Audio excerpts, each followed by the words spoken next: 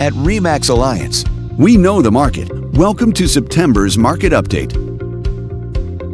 Let's take a look at residential real estate activity in your area during the month of August. The number of active listings was down 16% from one year earlier and down 9% from the previous month.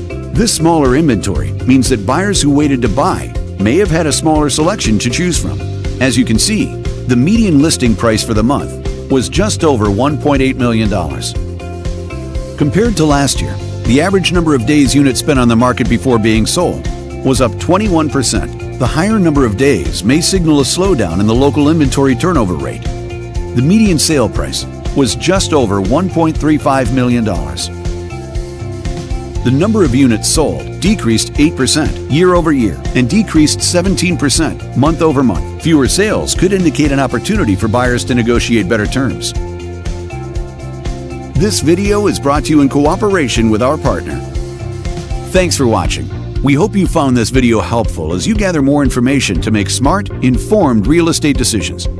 If you'd like more information or assistance, please click the button on the screen.